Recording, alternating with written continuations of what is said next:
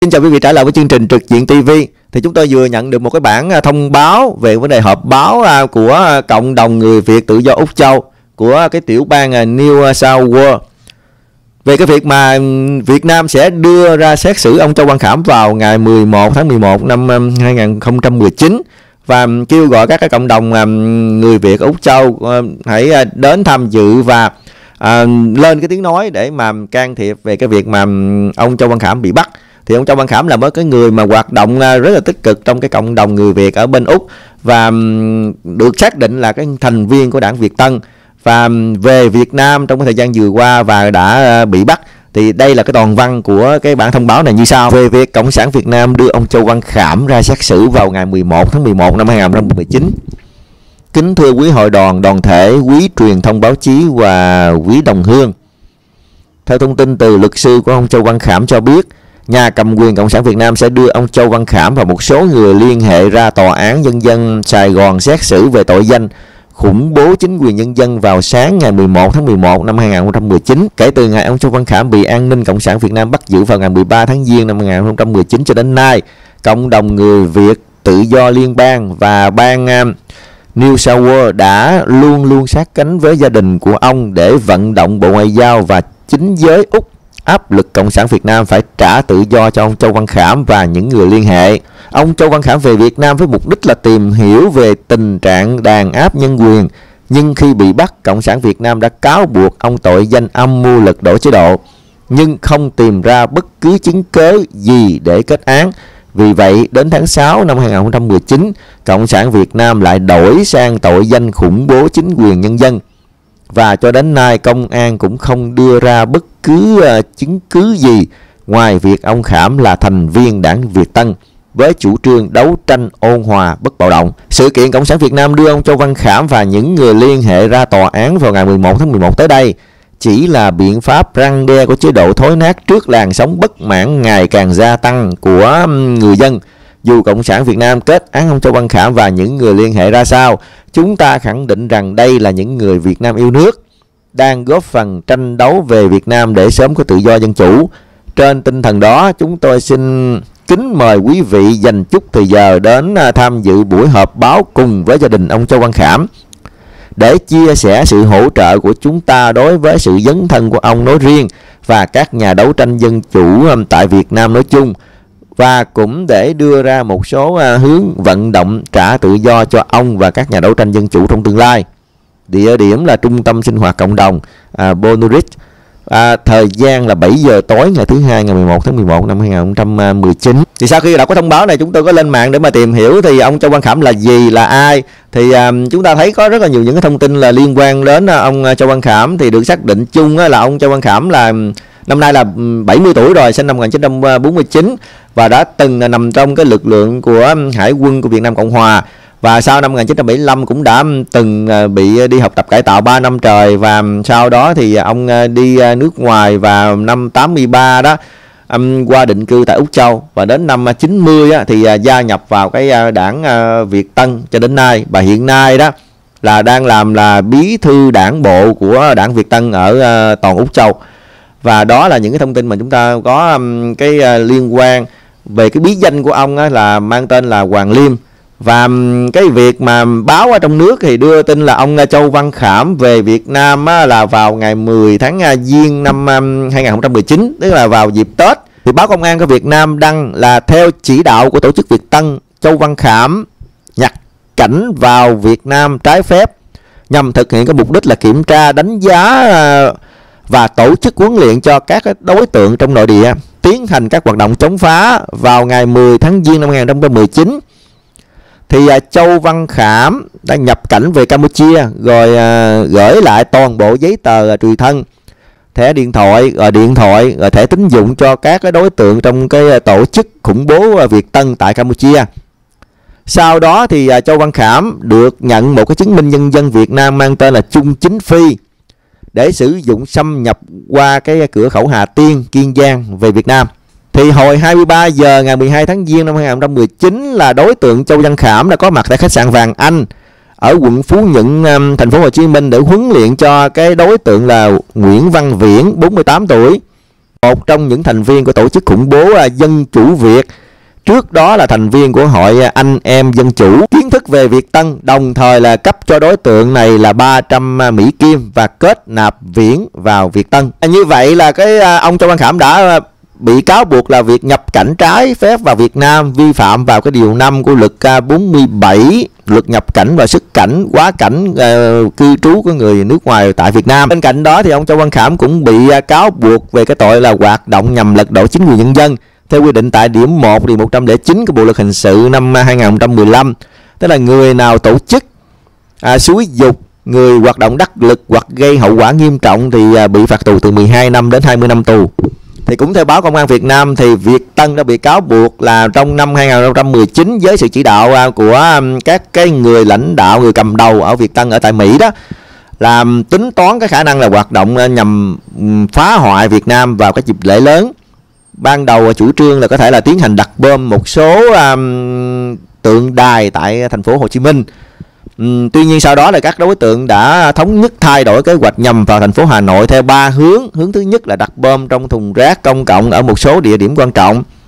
Tập trung là khu vực uh, trung tâm của Hà Nội. Phương án thứ hai là kích động một số cái đối tượng cực đoan quá khích tập trung gây náo loạn trước cái khu vực trung tâm chính trị nhằm à, tạo cái điểm nóng thu hút cái sự chú ý của lực lượng an ninh để các đối tượng khác tiến hành đánh bom theo kế hoạch. Sau đó thì bố trí ghi hình tung lên mạng xã hội tất cả các hoạt động nhằm gây tiếng vang, du cáo cho chính quyền Việt Nam đàn áp khủng bố các nhà hoạt động dân chủ bất đồng chính kiến. Điển hình là cái dịp lễ 30 tháng 4 ngày 1 tháng 5 2019, Việt Tân có kế hoạch là cử các thành viên à, nhập cảnh vào Việt Nam thực hiện ý đồ rải truyền đơn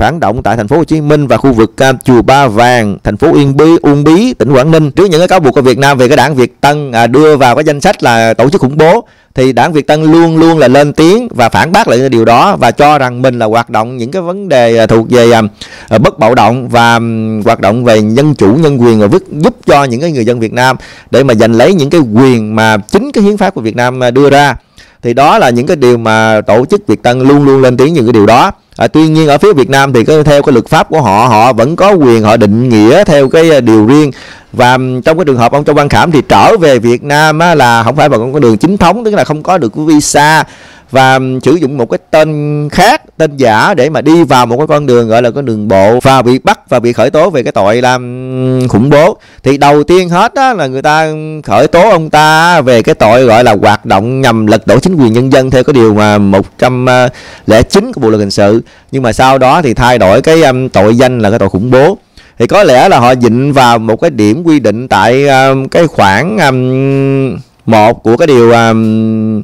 à, điều luật 299 về cái tội khủng bố đó làm người ta mà tổ chức xúi dục cũng như là kết nạp và rủ rê những cái người à, khác đi vào một cái tổ chức khủng bố. Thì à, chính vì những cái cáo buộc này có lẽ là người ta dịnh vào đó để mà um, kết luận rằng ông uh, Châu Văn Khảm là cái người mà đứng đầu thay mặt cho cái đảng Việt Tân. Tức là ông ta làm bí thư của um, cái uh, đảng bộ của Việt Tân ở bên uh, Úc Châu um, thì một cái vai trò rất là lớn trong cái à, đảng Việt Tân và có thể nói là đứng đầu cái à, đảng Việt Tân ở bên Úc Châu. À, cho nên là ông ta đã kết nạp một cái người và mở rộng những cái mạng lưới ở tại Việt Nam thì rồi giao phó cho những cái người đó về cái những cái việc làm ở tại Việt Nam và cũng như là ừ, chính ờ, có những cái thông tin nói rằng ờ, đảng Việt Tân giao cho ông Trong Khảm về để mà tìm hiểu về cái tình hình nhân quyền đánh giá lượng định những cái ừ, tình thế cách mạng ở tại Việt Nam như thế nào để mà từ đó có những cái phương hướng hoạt động như ra sao đó. Thì ờ,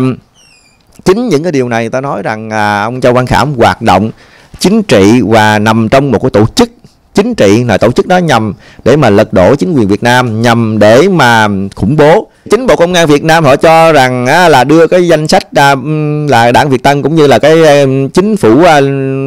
mà Việt Nam Cộng hòa lâm thời á, của ông Đào Minh Quân vào cái tổ chức khủng bố là à, do cái sự khuyến cáo của cái tổ chức ngân hàng Á Châu về cái việc mà tài trợ cho những cái khủng bố rồi chống rửa tiền hoặc là à, qua những cái đường dây mà đồng tiền đó họ cũng có khuyến khích những cái trường hợp là cần thiết phải đưa những cái tổ chức đó vào cùng khủng bố. Thì à, riêng chính phủ Việt Nam và bộ công an Việt Nam cũng có đưa thêm những cái danh sách cá nhân cũng như là những cái tổ chức khác nữa vào cái danh sách um, đen này. Và um, chính về vì những cái danh sách đen đó và những cái người nào nằm trong cái tổ chức đó là đều bị uh, dướng vào, nhất là cái mạng lưới mà khi mà mở rộng cái hoạt động cũng như là kết nạp những cái thành viên thì um, lại dướng vào cái điều luật và cái điều luật đó đã có sẵn từ uh, bao nhiêu năm nay rồi. Nhất là năm 2015 thì uh, bộ luật hình sự của Việt Nam đã được sửa đổi một lần nữa. Ông Châu Văn Khảm là một cái người hoạt động rất là tích cực trong cái cộng đồng Úc Châu. Và trong cái thời gian vừa qua thì ông tham gia rất là nhiều trong những cái cuộc mà biểu tình hoặc là à, những cái cuộc xuống đường của những cái người mà cộng đồng ở bên Úc Châu. Cho nên là nhiều người rất là biết ông. Và sau khi mà ông bị bắt hồi tháng giêng năm 2019 đến nay thì có ờ, nhiều cái cuộc mà vận động và cũng như là tác động lên các cái chính phủ úc cũng như là những cái dân biểu của úc để mà có cái tiếng nói lên cái việt nam để mà có thể là sớm à, xin giảm cho ông gọi là xin thả ông ra sớm trước thời hạn. À, hoặc là bỏ bãi bỏ cái việc mà khởi tố ông. Um, như là có cái thông tin thì à, nói rằng là có cái sự tác động đối với ngay cả thủ tướng úc nữa trong cái kỳ mà đi qua thăm việt nam hồi tháng 8 vừa qua. À, tuy nhiên sau đó thì à, chúng ta không thấy một cái kết quả gì hết và có lẽ là chính um, trong cái cuộc đi đó thì à, ông thủ tướng úc như là phái đoàn của ông ta cũng không có đề cập đến cái vấn đề này. Và um, sự việc nó cũng đang diễn tiến và trong cái quá trình mà điều tra cái vụ việc này thì từ lúc mà khởi tố điều vụ án khi bị bị bắt đến thời điểm hiện nay thì um, cái việc mà chính quyền úc họ sử dụng các cái biện pháp mà gọi là um, bảo hộ về lãnh sự ờ, rất là tốt. Họ có đến thăm ông khảm và cũng có chuyển thuốc cũng như là ờ, đưa những cái thơ từ hoặc là ờ, những cái thiệp chúc mừng của gia đình đến um, ông châu văn khảm và thăm hỏi sức khỏe của ông ta thì cái sức khỏe rất là tốt bình thường. À, tuy nhiên thì cái um, tinh thần có thể nói là bị suy sụp rất là nhiều. Và um, ông ta vẫn chưa có được cái quyền của luật sư và ở phía Việt Nam người ta giải thích rằng uh, trường hợp của ông Châu Văn Khảm chỉ được quyền có luật sư khi mà khi mà kết luận uh, cái vụ án rồi. Tức là quá trình điều tra mà nó kết thúc rồi người ta mới cho luật sư. Thì đó cũng là một cái điều luật quy định rất là rõ trong cái bộ luật tố tụng hình sự của Việt Nam. Là đối với các tội mà xâm phạm an ninh quốc gia thì um, người ta chỉ cho luật sư trong cái trường hợp mà kết thúc cái điều tra vụ án thôi khi mà có cái kết luận điều tra thôi hoặc là có cái cáo trạng thôi. Thì đó là một cái điều mà um, họ cũng đã ghi sẵn từ trước à, thì cũng không có bất ngờ gì hết. Thì um, đây là những cái điều phản ứng uh, rất là bình thường và chính phủ úc họ cũng thấy được cái điều đó là nó đúng với cái pháp luật việt nam cho nên là họ cũng phải uh, công nhận và chấp nhận cái chuyện đó. Um, thì uh, ngày 11 thay tháng 11 này là ngày xét xử. Thì không biết là chính quyền việt nam người ta sẽ xử uh, ông châu văn khảm như thế nào là về uh, bao nhiêu năm tù và có phạm tội hay không và trước cái sự phản ứng ờ, sự xét xử đó thì à, chính quyền à, úc cũng như là à, những cái cộng đồng người việt ngay cả cái đảng phái việt tân họ sẽ lên ứng như thế nào. Và qua cái việc xét xử này chúng ta sẽ thấy được một cái điều gì nữa. Và đó là những cái vấn đề mà nó nằm ở phía bên trong. Nhưng mà phải nói một điều là cái vụ mà xét xử lần này nó có hơi đặc biệt hơn các cái kỳ trước đây bởi chúng ta nhớ là cái sự kiện của hai ba năm về trước á như cái việc mà của bà Angel Phan cũng là đi về từ Mỹ và tham gia vào cái tổ chức của ông Đào Bình Quân và khi mà à, hoạt động cũng có một số cái hoạt động. Mà chúng ta thấy là rồi ông à, Phương Minh Nguyễn cũng vậy khi mà trở về Việt Nam thì à, nhưng mà hai cái người đó đó thì à, cùng với những cái người gọi là đồng phạm khác thì bị um, truy tố và bị xét xử và buộc tội về cái việc là à, hoạt động nhằm chống chính quyền nhân dân. Theo một cái điều luật là điều 109 của bộ luật hình sự. À, sau đó xử 12 14 năm thì cái tù rất là nặng. À, nhưng mà họ có những cái hoạt động. Thí dụ như là họ còn mua hoặc là chế tạo à, những cái chất này vật vũ khí kia hoặc là à, còn có cái đường hướng có cái à, phương cách để mà tạo nên cái tiếng vang. Thì cái đó là một cái điều mà chúng ta thấy nó à, nó nó rõ ràng hơn một tí. Tuy nhiên trong cái trường hợp ông Châu Văn Khảm thì chỉ dừng lại cái chỗ là à, kết nạp những cái người mở rộng cái mạng lưới và đưa ra cái thành viên um, của cái tổ chức Việt Tân. Và tổ chức này được xác định là khủng bố thì mở rộng đó là dính vào cái điều luật này. Thì đây chỉ là một cái hoạt động mang tính chất hình thức thôi.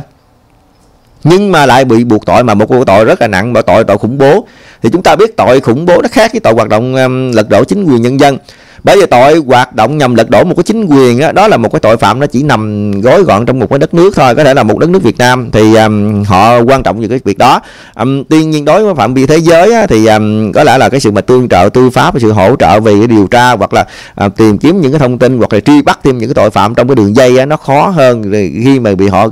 ghép vào cái tội khủng bố bởi vì tội khủng bố là một cái tội mà tất cả các cái nước có tham gia vào các cái điều ước thường có một cái công ước riêng. Và họ có ký kết một những cái thỏa thuận với nhau về vấn đề trao đổi những cái thông tin về những đề mà phá ra những cái vụ án khủng bố. Cái khủng bố không phải là khủng bố quốc tế như là những cái tổ chức lớn như Al Qaeda hay là ISIS hay những cái tổ chức mà ờ, phạm tội trên nhiều quốc gia. Có thể là đối với um, nhắm vào một cái quốc gia thôi hoặc là nhắm vào một cái nơi nào đó thôi cũng có thể là được xác định vào cái điều đó